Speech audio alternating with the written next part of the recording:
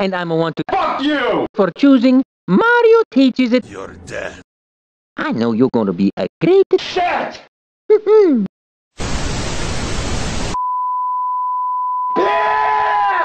Oh. oh, fuck you, you're grounded!